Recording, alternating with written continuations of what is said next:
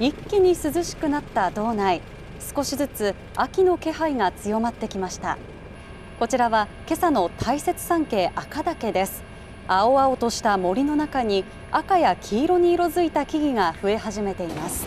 日本一早い紅葉を見ようと大雪山系旭岳の中腹はロープウェイで登ってきた多くの観光客で大にぎわいです。しかし。本当はもう少しねいい方が良かったです。はい。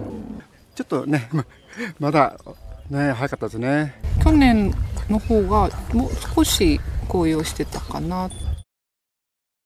例年であれば9月中旬頃から紅葉が見頃となりますが今年は暑さが続いた影響で1週間以上遅れているといいます。旭岳ロープウェイによりますと今年の紅葉の見頃は来週末になるのではということです